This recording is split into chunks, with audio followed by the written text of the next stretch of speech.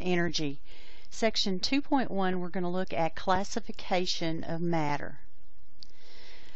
Matter is basically anything that takes up space and has mass. So the things that you can see around you have are matter and the things that we are too small for us to see are also matter. They make up the larger things a lot of times that we can see. We classify matter in different ways. First, a pure substance is classified as a matter that's fixed in composition. An element, for example, is one type of atom, and so you can have many types of atoms, but if you only have one type, then all of those are the same element. A compound is composed of two or more elements, always combining in the same proportion. Elements are pure substances only containing one type of material. Copper, for example, is an element as well as lead, aluminum, hydrogen, uh, oxygen, those things that you find on the periodic table of elements are all elements. Um, if you have an element of copper, like for example a coin, then the copper consists of copper atoms. A compound contains two or more elements in a definite ratio. For example, hydrogen peroxide is H2O2, whereas water is H2O. Whenever you have water, it's always two atoms of hydrogen and one of oxygen together.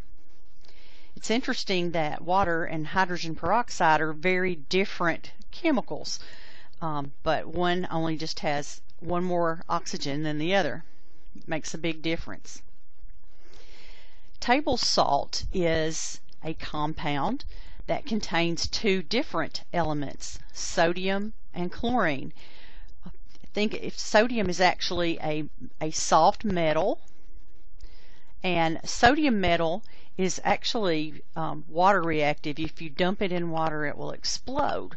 And so um, you can take this exploding metal and you can add it to chlorine gas, um, which will kill you, and if you breathe it, and you add those two things together in a chemical reaction, and you come up with sodium chloride, which is table salt, which is something that is safe to eat. A mixture is type of matter that has two or more substances that are physically mixed together but not chemically combined. So basically the test for a mixture is that you can usually separate those by using some type of physical method um, such as filtration as you see here where you can filter the liquid portion which will come through the filter but it will catch the solids and so that mixture of liquid and solids is uh, separated by this filtration process you can have two types of mixtures. You can have a homogeneous mixture or homogeneous, which means that the composition is uniform throughout. That is, if I want to take a sample anywhere in a container of this um, homogeneous mixture, I will always get the same components, the same ratio of molecules. The example they show you here is brass. But a homogeneous mixture would also be some of our sodium chloride. Whenever you take a sample of it, you will always get that same proportion of sodium and chlorine together. Scuba mixtures um, in gases um, are used for people that are going to dive deep under the ocean a lot of times because if you have a mixture, uh, for example, of a nitrox gas um, or a trimix gas, you can actually breathe that underwater for longer periods of time.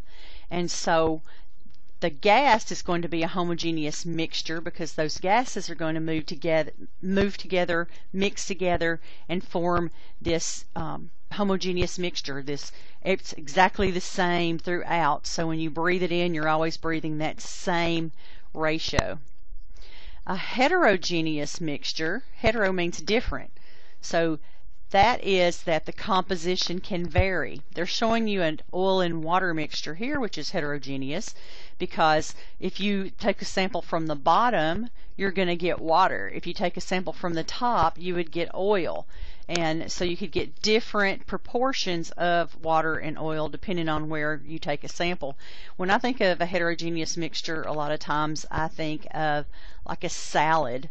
Um, if you've got a salad, unless you've got one of those great chopped salads like you can get at some restaurants, um, you're going to have lettuce and tomatoes and carrots and things, but you're not always going to have the same exact proportion of all those vegetables, and so that's a heterogeneous mixture. So if you look at it from um, a classification standpoint, matter, as we said, is anything that takes up space we can first separate that into pure substances or mixtures. Okay, pure substances means that you have the same, um, you can either have the same types of atoms, which means that it's an element, or you can have more than one type of element in there and it will be a compound. So they're showing you water which has hydrogen and oxygen. So that's a compound. But if you have all of the same, for example copper, that's an element. If you have a mixture, it can either be a homogeneous mixture or it can be a heterogeneous mixture. Our brass okay, is a homogeneous mixture, or our salt, our table salt, NaCl. The heterogeneous mixture, we were looking at if you have pennies in a, a, a glass of water, you can filter that out. You can separate them very easily with physical means, so that means it's a heterogeneous mixture. So here's your first learning check. Identify each of the following as a pure substance or a mixture. So pause me for a minute and see if you can figure out which of these. Remember, if it's a pure substance, okay, it's going to be what? It can be elements or it can be a compound, but they'll be the same. If it's a mixture, it could be homogeneous or heterogeneous. All right, see, see how you do. All right, welcome back. I hope you did well. The pasta and tomato sauce is a mixture. Aluminum foil is all aluminum. It's it's the metal, but what they do is they press it into sheets. Helium is an element. Okay, so it's a pure substance. And air is a mixture of a lot of different things: oxygen, nitrogen, helium, um, carbon dioxide. So breathing air has all types of gases in there mixed together. Identify each of the following as homogeneous or heterogeneous. Remember, I think of it as if I took a sample, would I get the same exact thing every time I sampled it? If I do, that's homogeneous.